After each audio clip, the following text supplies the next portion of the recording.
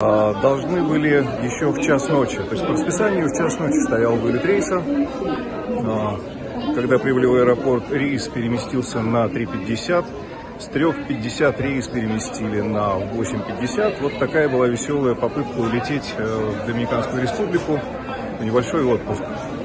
А Как утверждают сотрудники авиакомпании, вот вы сейчас видите, что там происходит у нас за спиной, привели даже сотрудников полиции, потому что сами сотрудники авиакомпании боятся общаться с а, пассажирами.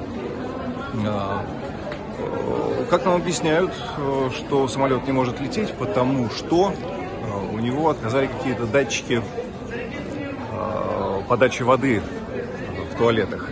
Ну, я понимаю, что 400 человек, летящих э, 12 часов, это действительно такой же скач э, без туалета.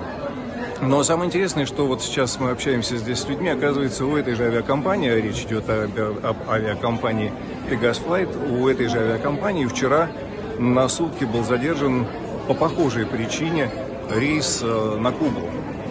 Ну, то есть, как оказывается, компания Pegasus Flight, работая с компанией Nordwind, э, славится подобными историями.